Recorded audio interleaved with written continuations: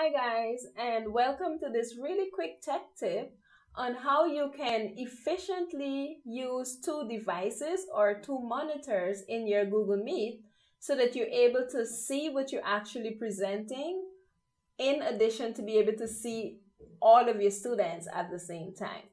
So we know that um, when you are in a Google Meet, once you join and you click present now,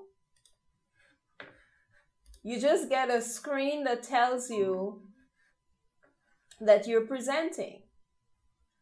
Uh, if you're in another, if you're in the meet, you can go look over and you're seeing the same thing that your students are seeing.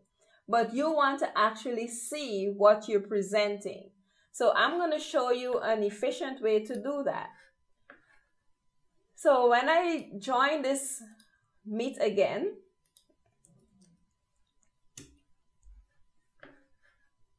And now I'm going to separate these two windows. So here is my teacher Google Meet. And this is the one I'm going to drag this over to my other screen. So now I can always look over so that I can see what my students are seeing. Or I can, sorry, I can see all of my students. And on this monitor, I am not going to join this meeting. I'm actually going to turn off my camera and my microphone. And I'm just going to present.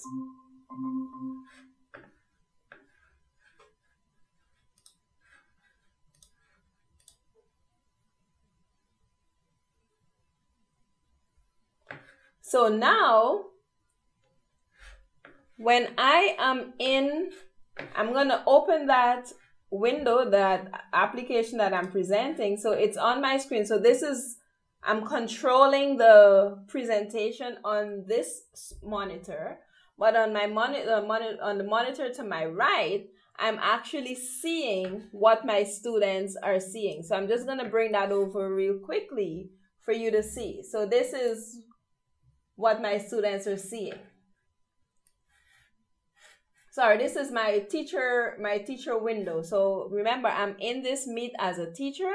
I can see all my students and i can also see my presentation. So i can go through this and as i go through i look over and i'm seeing what my students are seeing.